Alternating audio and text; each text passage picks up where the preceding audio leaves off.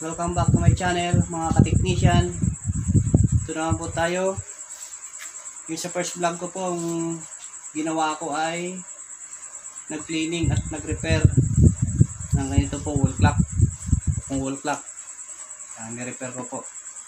Ngayon naman po ay magpapalit po tayo ng machine. Dahil sabi po ng may-ari ay pinagawa na rin po ito daw.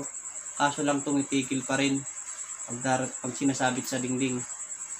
Ngayon papalitan na po natin siya ng makina. Okay. Pisa na po natin. Ano po, first ah, tatanggalin po natin ang tornilyo.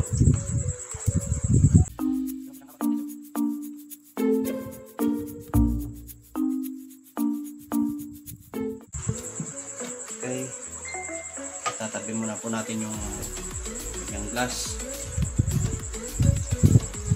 Tatanggalin po natin ang kanyang kamay. Yan, medyo matigas. Yun.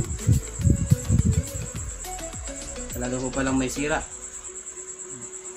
Kumapit na po rito yung kanyang ano, pinakaping nyo ng center wheel.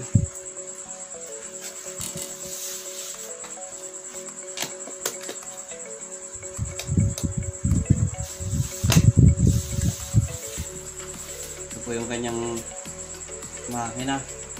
Makina sira.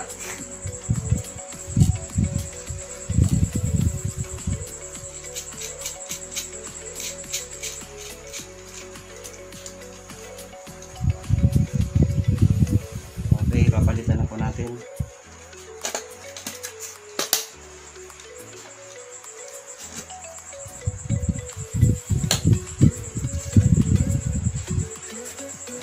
Okay, nakasiltar na po yung ano niya.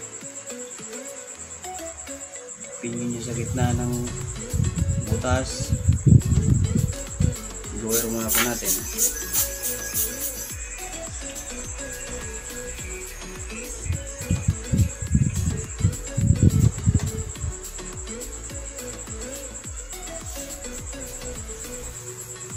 Okay, lagyan na po natin ng kamay.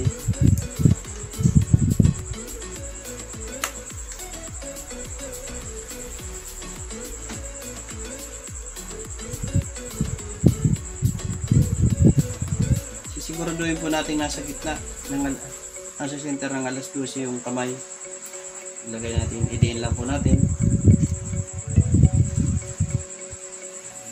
Ito na po yung pangalawang kamay.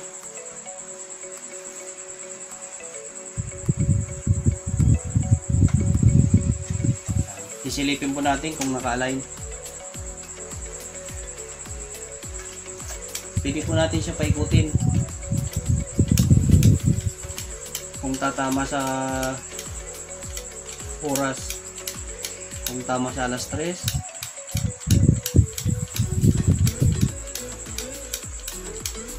Alas 6.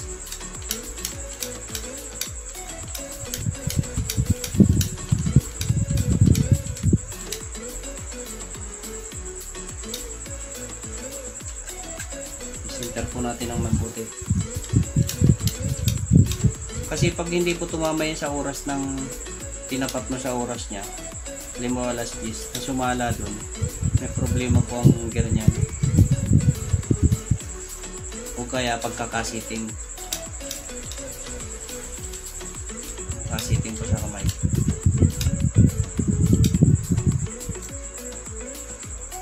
Kaya po yan. Medyo hiwit siya ng konti.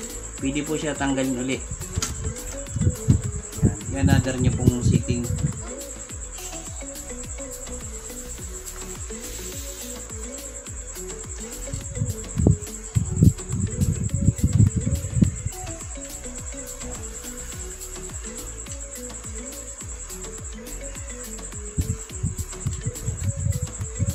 Sigurado po yan. Nakasinter na po yan. Pwede niyo po ilagay na yung sige.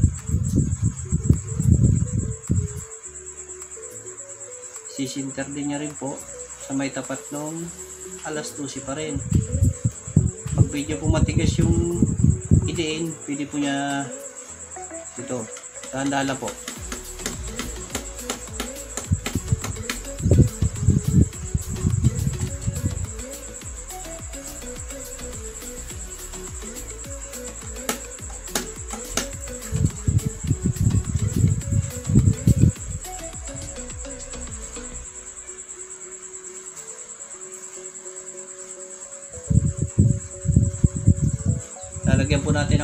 Battery. Kung nakasinter na po siya kung tatakbo.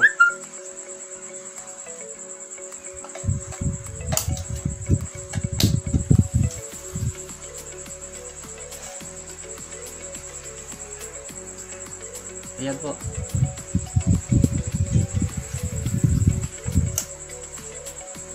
Ayan po tumatakbo.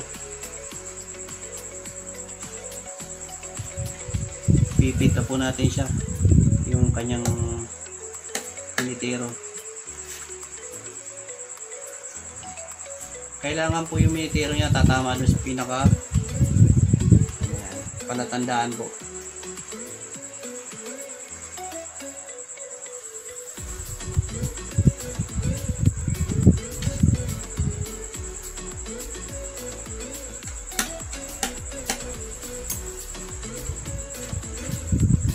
blower po natin siya. Saka lalagay na po natin yung salamin.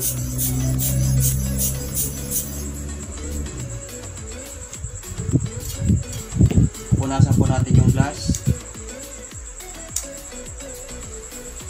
Maingat lang po sa pagpupunas kasi medyo manipis po yung glass nya okay.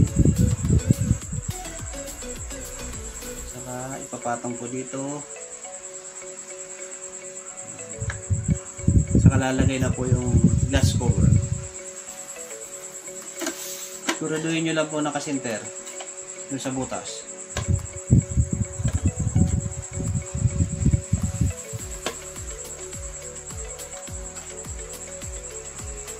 Kasi pag hindi po siya nakashoot doon sa butas yung center pwede po mag-crack yung plastic. Lalagay na po natin yung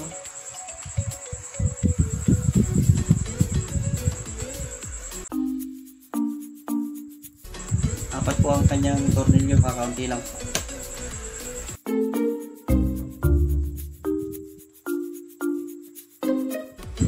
Siguraduhin lang pong nakat ano, center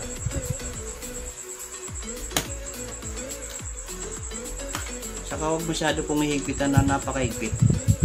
Yung ramdam lang po na kumapit na po yung tornilyo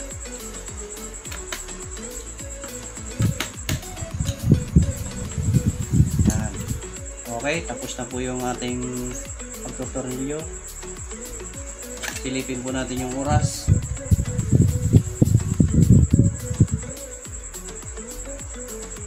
Ayos.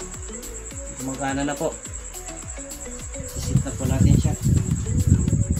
Ito lang po sa may likod kayo pipihit para mag-sit ng oras.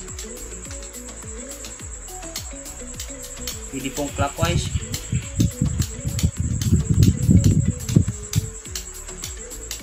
Yung pabalik. Yan. Ayan o. Piling ganon.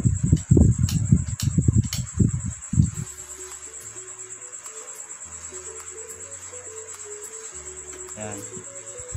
Okay, tapos na po itong ating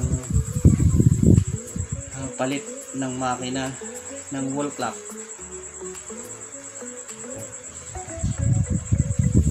Okay na po.